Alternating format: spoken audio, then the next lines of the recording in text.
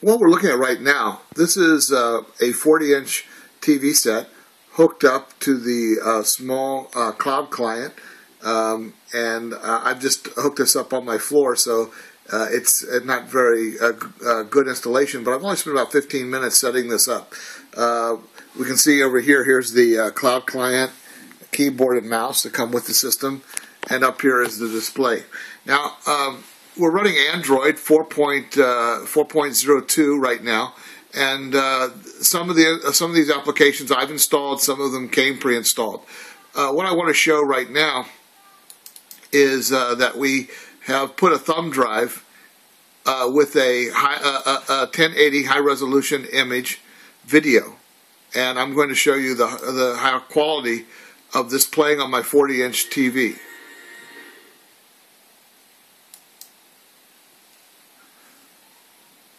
So this is the start of the movie Prometheus.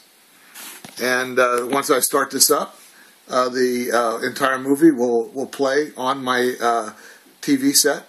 And uh, we've been testing this with YouTube. We've been testing this with HBO uh, Go, with Netflix, just about every kind of video program that we can find.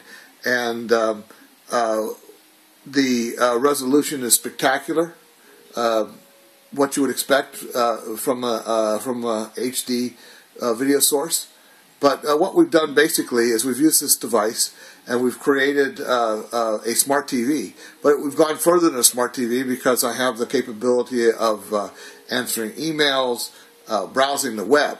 Now, if I could use a wireless keyboard, and there are some wireless keyboards that that work very very well as a, a remote control, they're a little bit smaller or you can use a full size uh, uh, wireless keyboard.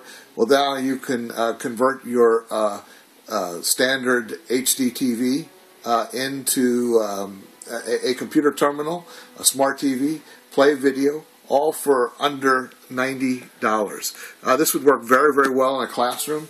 You could set this up on the network and you could have your course material stored on a server and you could use this device to then uh, access those files. Now, I have a Revue uh, Google TV that I've used for a long time, and I like the device very, very much.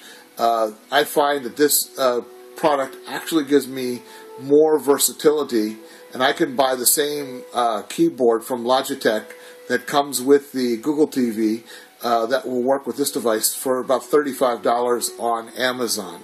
There are less expensive uh, wireless keyboards around.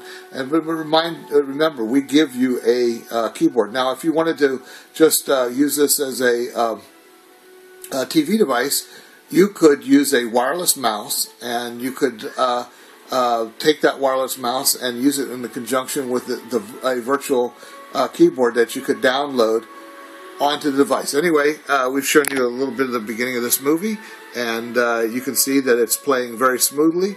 Uh, we can't get this kind of performance on an Atom. This is a dual core processor uh, with, uh, and this is running in M.MKV format.